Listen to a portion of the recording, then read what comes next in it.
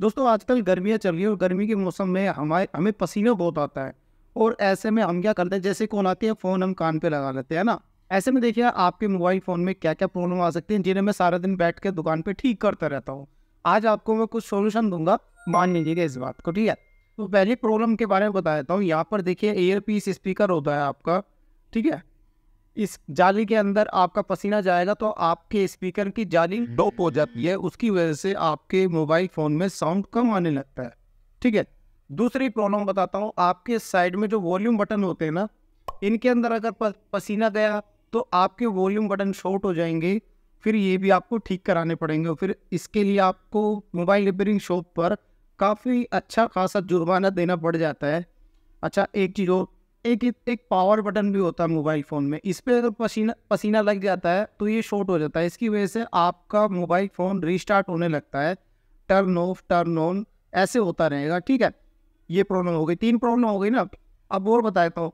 एक चौथी प्रॉब्लम बताता हूँ, जो सबसे महँगी पड़ती है, वो कौन सी डिस्प्ले की? अगर हमारा पसीना डिस्प्ले के अंदर गया तो इसका रिफ्लेक्टर ख़राब हो जाता है। और दूसरी बात इसका टच भी अपने आप ऑटो वर्क करने लगेगा दोस्तों, पसीना लगने की वजह से। तो इस चीज़ का ध्यान दीजिएगा। देखिए, मैंने आपको प्रॉब्लम तो बता दी, आप कहोगे, यार प्रॉब्लम बता दी सोल्यूशन तो बताया नहीं। सोल्यूशन तो बताता हूँ आपको। अब देखिए दोस्तों सोल्यूशन है इसका ये। ये क्या है? ठीक है, आप कहेंगे, यार, क्या मज़ाक है? भाई, मज़ाक नहीं कर रहा मैं आपको एक सिंपल बता, बात बताता हूँ। देखिए, अगर कभी भी आप गर्मी में कोई काम कर रहे हैं, गर्मी में कहीं चल के जा रहे हैं, आपका अगर फ़ोन आता है ना तो आप लीड लगाइए।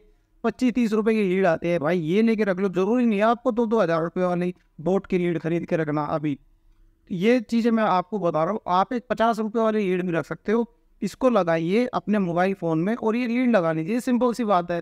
कितना सिंपल तरीका होता है अपने फ़ोन की प्रोटेक्शन करना, बहुत आसान होता है तो आप भी इसको यूज़ कीजिएगा दोस्तों, क्योंकि देखिए अगर इनमें से कोई भी प्रॉब्लम आपके मोबाइल फ़ोन में आती है तो फिर आप मोबाइल रिपेयरिंग शॉप पे जाओगे, ज़ाहिर सी बात है वो आपको पाँच सौ, हज़ार रुपये से नीचे नहीं छोड़ने वाला है ना? तो ऐसा, ऐसे आप गलती ही ना करें। जैसी प्रॉब्लम आपके मोबाइल फ़ोन में है तो ये छोटी सी जानकारी कैसी लगी?